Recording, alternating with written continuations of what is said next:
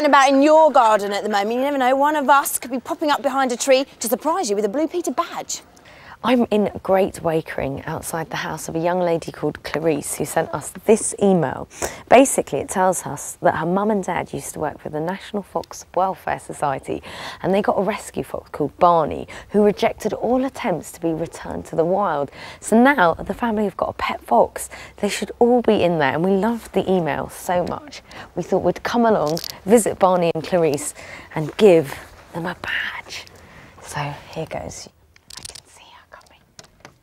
Hi, Clarice. Oh, hi. Are you a bit in shock? You're on the telly right now as we speak, and we loved the email that you sent us about Barney. So we thought we'd come and give you a Blue Peter badge, but I would love to see Barney as well. Is it all right if I come in? Yeah. And have a little visit? He's in the garden, isn't he? Uh, I don't know. I don't know. Let's go and find him, yeah? yeah. Cheers. Right, well, we're in the garden now and I've met the whole family. So let me introduce you. We've got Mum, Dad, Barney, the newest recruit, and Clarice has reliably informed me that he likes eating raisins. So we've got a plate of raisins here as well. So can I try and feed him? Will he eat it from just off this plate? He should do. Okay, let's give it a go. Look, Barney. Oh, yes, he is. Oh, oh they're nice, tasty. It's lovely to have come here and met you. And you never know, might get a pet fox. Would you recommend it?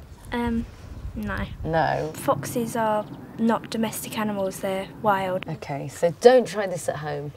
Foxes do not make good pets, but one thing you can try is sending us an email like Clarice did, or maybe a letter or a picture, and you never know, we could be visiting your house and giving you a Blue Peter badge.